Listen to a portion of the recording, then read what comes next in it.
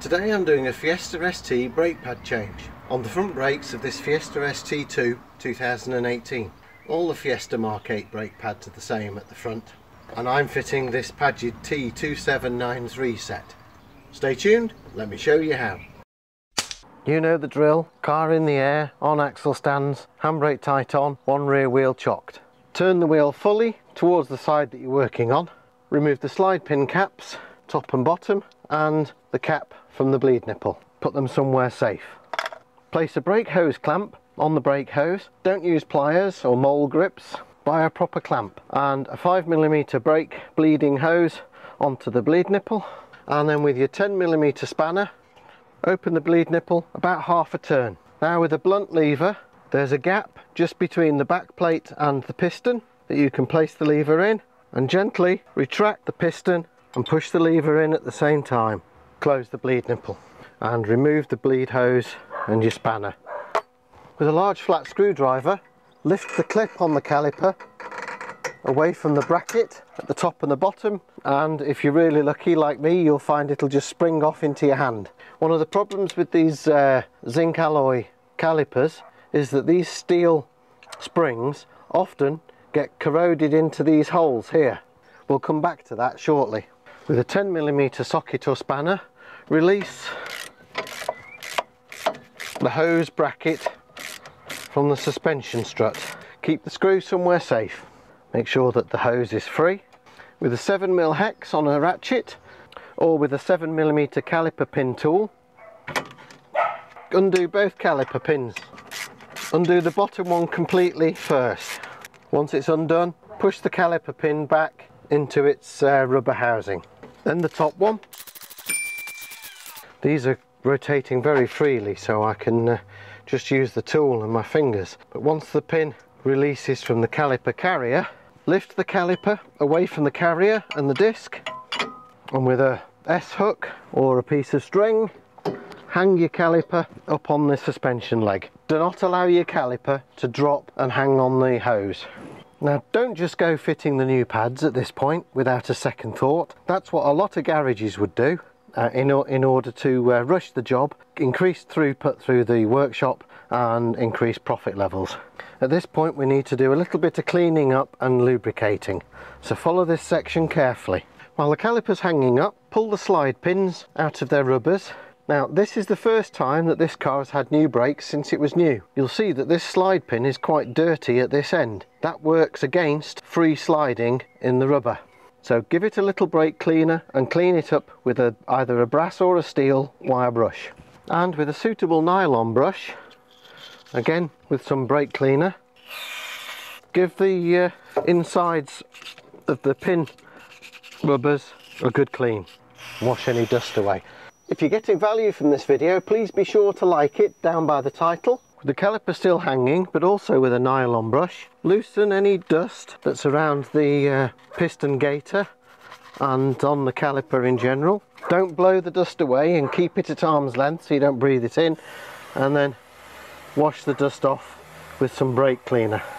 It won't take very long, brake cleaner dries very rapidly, but allow that to dry thoroughly. Now bring your attention down to the carrier. First of all, if you're not changing the discs, which we're not in this case, because the uh, the wear lip on these discs is virtually non-existent.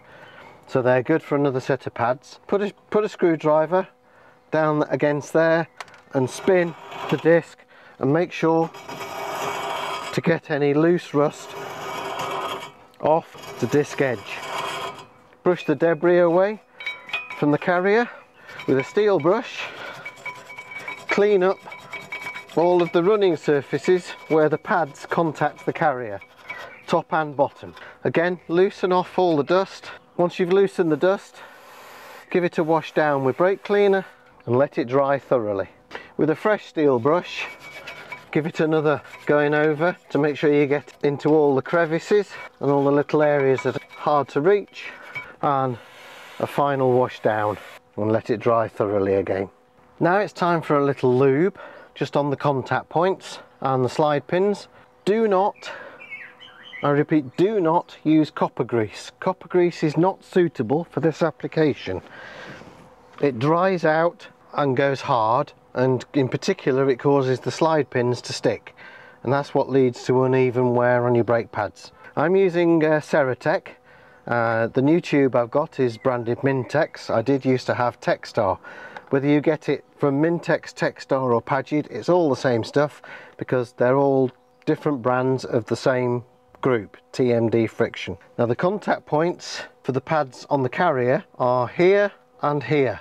So with a small brush, small wooden applicator, just put a small, a small smear on those contact points all around on the, for the four contact points on the uh, carrier. Although there is a gap to the pad from the back there, it might be useful to put a little in there. Do that top and bottom. Do make sure that you don't get any on the disc, which is why we're using a small brush rather than using your finger or squeezing the tube directly into the space. Back at the caliper, you can remove the hose clamp now and make sure that your piston is pushed fully home. Again with your brush, put some Ceratec inside the slide pin rubbers. Do that for both. About half a pea-sized blob is uh, quite sufficient in each. And again with your brush, dab some grease here where the uh, pad contacts and also onto the piston face that contacts the pad. Put your slide pins back in, make sure that they uh, run completely free. Rotate them to spread the grease around. A pair of pads, one has a big bracket on it and the other just two spots. The one with the bracket goes into the piston side, the one with the two spot just goes on the other side. But I think it's easier just to slot it into the carrier. And now bring your caliper down, make sure that the uh, hose isn't twisted and of course make sure that you've put the pad in the right side. Lol and slot your caliper into place. Start your top slider pin off, screwing it into the caliper carrier, then push down on the caliper at the bottom and start the lower one off.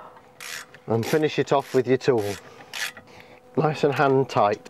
Don't forget to put your brake hose bracket back into position and screw up the bolt. Open the bleed nipple ever so slightly with your 10mm spanner. Make sure that you see brake fluid drip from it and then tighten it back up.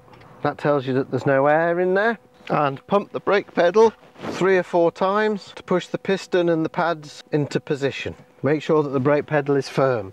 These calipers, in common with a lot of cars, are made of a, a zinc aluminium alloy known as Zamac. You see this slight white marking on the surface?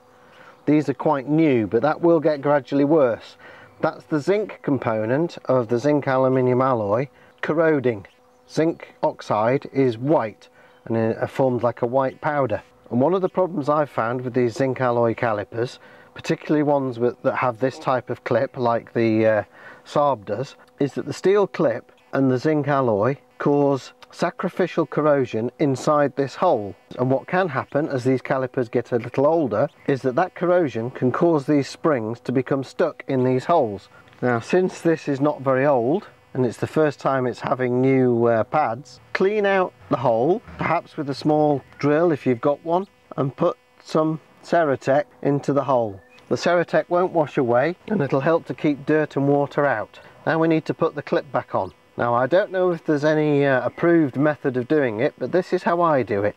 I start at the top, put the uh, spring into the top clip and bring the uh, spring round to the inner side of the carrier make sure that that's pushed in now push in the spring lower leg and then pull the lower portion to the back to the inner side of the carrier I now also put some more Ceratec around here in an effort to keep that uh, sacrificial corrosion at bay and stop water getting into the uh, into the hole.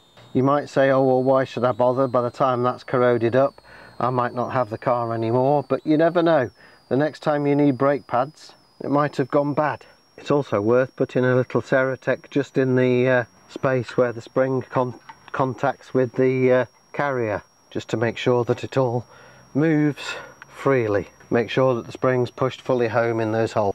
From the factory the studs and all this uh, mating face comes uh, dry, nothing on it. So you could put a little Ceratec around this flange because that's the flange the alloy fits to that very closely and also uh, a little bit of Ceratec just in the threads not much just a little Again, don't use copper grease. It dries out and it causes the uh, wheel nuts to get stuck onto the studs. This stuff won't dry out. Don't forget to put your slide pin covers and the bleed nipple cover back on. Don't forget to top up the master cylinder reservoir with fresh brake fluid. If you got value from this video and I've saved you some time, hassle, maybe some money, consider supporting the channel, links in description, and I shall see you next time.